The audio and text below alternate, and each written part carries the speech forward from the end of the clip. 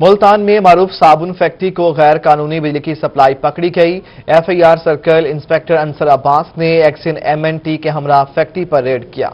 F I A circle inspector Ansar Abbas ने एक्सियन M N T के हमरा फैक्ट्री पर रेड किया। एस एम फ़ूड इंडस्ट्री के ऑफिसर अदील खान न्यासी की दरख्वास्त पर साबुन फैक्ट्री के कनेक्शन पर रेड किया।